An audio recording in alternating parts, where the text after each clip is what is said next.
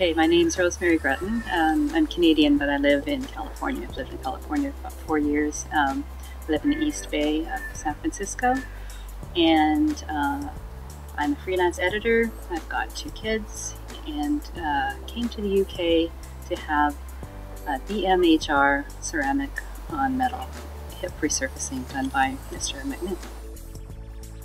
I can't say enough about how caring everyone, everyone that I've encountered at the McMinn Center has been from, you know, Merrill Wellings to Pam Charles to um, the staff surgeons, you know, Chandra and Joseph have just been lovely, caring, competent, great. Uh, Mr. McMinn, kind of larger than life, lovely, lovely person. The thing that I notice the most is that there is a real sense of caring about the person.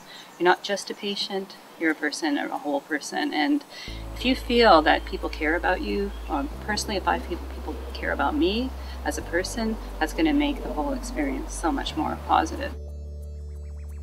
I think the thing that really hit me very quickly is that there was no pain whatsoever in my right hip area. It's like, how could that be gone? Because it's been, I've been living with it for so long, I don't know what it's like not to live with it. But I, I couldn't believe the next day they were already wanting me to start walking. And at first I wasn't sure I was going to be able to do that because, you know, I've been limping around for a long time. But it's amazing what you can do when you set your mind to it and you've got encouragement. So um, yeah, I did that. So I was walking the next day. So my concern with a total hip replacement was when I started looking into it was that there's a it's a lot more invasive as a surgery. So uh, a lot more of your bone, your natural bone, is going to be taken away.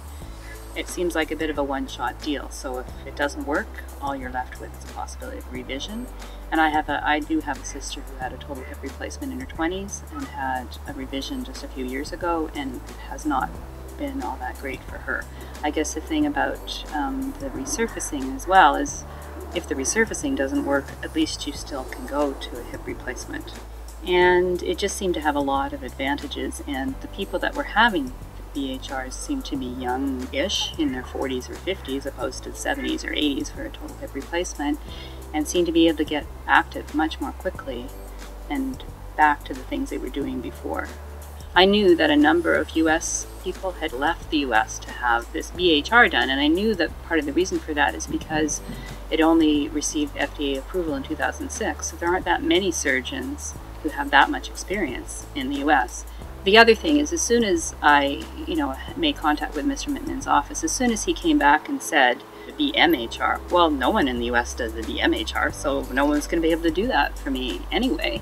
And also, I mean, I had a real concern about experience. Because it's a technically difficult surgery and it has the potential for some issues afterwards if it's not done right, it had to be done by from my perspective, by somebody who really knew what they were doing. And so, as I said, you know, the best, right?